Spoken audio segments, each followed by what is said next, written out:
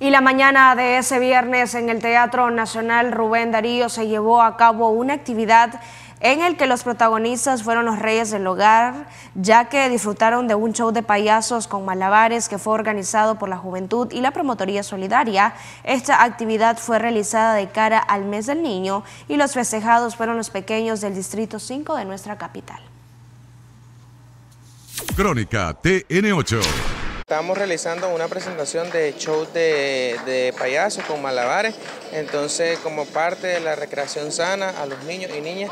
de barrios y comunidades, eh, esta vez trajimos a los niños del Distrito 5 de Managua. Este, esta, esta, actividad también este, está de cara a la semana y al mes del niño, como nosotros como Juventud Sandinista y Promotoría Solidaria, no es solo eh, la Semana del Niño que nosotros la celebramos, sino en todo el mes de junio y en todo el año.